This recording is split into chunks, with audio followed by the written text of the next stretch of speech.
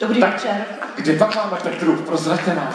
Peťu mám bohužel doma v Praze, protože ukončila rodičovskou dovolenou a musela nastoupit do práce. Dovolenou, rodičovská není dovolená přeci.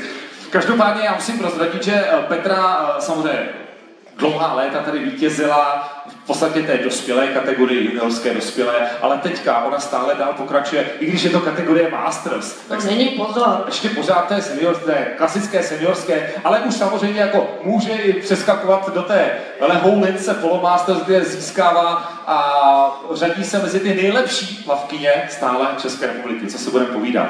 Jestli ještě máte nějaký pozdrav od Petry, jestli jste s ní náhodou nehovořila. Určitě můžu říct, že poděkovat městu Česká Lípa a samozřejmě všem fanouškům. Tak jo, takže moc krát děkujeme. Budeme předávat právě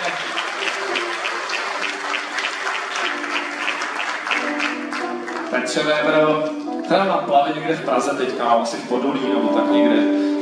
A mají největší bazén. V Liberci pak bude ještě větší, až se to zrekonstruuje. Děkujeme moc, gratulujeme Petra Weber třetí místo. Jdeme na místo druhé.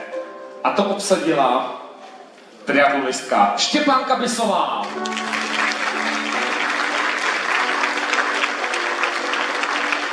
Štěpánka Bisová už eh, samozřejmě sbírá triumfy ve své věkové kategorii, ale jezdí už i v kategorii elit. Eh, Na mnohých světových šampionátech získala neuvěřitelné triumfy. A já jsem moc rád, že právě tuto mladou, stále slečnu jsem byl svědkem jejího prvního startu v triatlonu. Já to vždycky omílám na tom závodě, který to je. To nedaleko odsud, je to v Konraticích u Cvikova, kde se pořádá uh, Daxman triatlon, terénní triatlon, kam ji právě přivedl její přítel uh, Petr Cmund a Štěpán Kabisová už je teďka ale lepší než Petr. Tak Štěpánko, co na to říkáš? Druhá nejúspěšnější sportovkyně Českolipská za rok 2023. Zaslouží si to, rozhodně si zaslouží za ty výkony.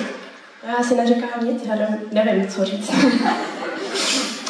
Je třeba někdo, komu bys chtěla poděkovat, eh, co se týče trenérů, protože samozřejmě máš také eh, naordinované tréninky, kde není to jenom čistě z tvé hlavy, tak třeba i touhletou cestou bychom se mohli. Jo, já bych chtěla moc poděkovat mé trenérce Helše Karáskovi, která uh, je pořád lepší než já.